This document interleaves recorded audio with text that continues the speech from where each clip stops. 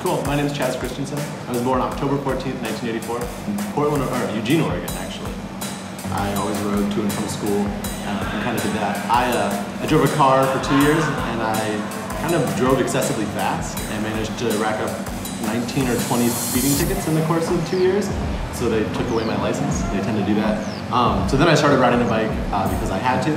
I, I love my relationship with Cinelli. It's really cool. As long as I've been riding, you know, obviously I'm doing this for a long time and I've had this like, oh, my, the coolest bike in the world would be this bike. Like, man, I want to build this bike. And Cinelli made that. And then we go to Milan and we, we meet with like Fabrizio and we, we sit down with the designers. And you know, last time we were in Milan for Red Hook, we sat down at the factory for like five hours and talked about like what we wanted the parallax to be. And then six months later, you get a prototype. And it's just like, I thought this up. Like me and my friends thought this up, and we are paired with somebody that's able to like make it happen. And like getting those two prototypes was just like like it's like a dream come true. So like the relationship with Cinelli is amazing. That they take our input and they use it, and like you know they're also very much like, well that may not work, and they they have the experience to be like, it's a really good idea. Maybe if we changed it a little bit, it would work a little better. So like kind of tempering our just like street enthusiasm and like the enthusiasm that comes from riding these bikes to forming a partnership that kind of creates a solid bike. Uh, the cap design, yeah, I, I thought it was really cool to be approached by Cinelli for the opportunity to design this cap. Um, I am not a graphic designer. I have a very limited grasp of designing things on computers, pretty much at MS Paint.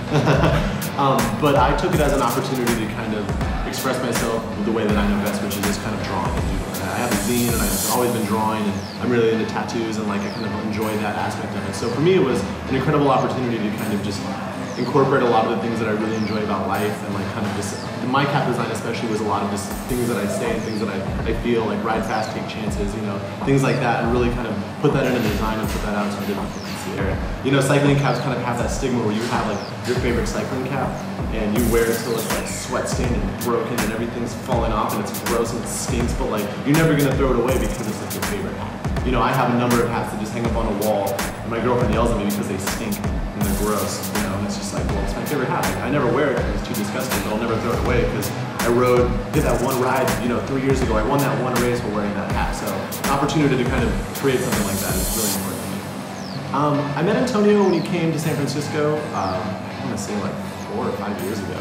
Longer. Every time him and Alessandro come to San Francisco, they always take the mashed out for dinner. And it's, it's amazing. And the first time we were all like, you know, we're gonna meet the guy from Cinelli, oh my God, you know, and now it's just like, it's, I wanna say he's like an old friend, but I see him a lot, and you know, it's very much like a comfortable, like, oh, Antonio, how are you, you know, and every time we go to Milan, the two times that I've been there, we've been taking tours of the factory, we saw the old factory, and then we saw the new factory, and it was really cool, and they're really, they're very personable people, kind of nice to have this ability to, to be on a friendly level with someone that's kind of of that stature.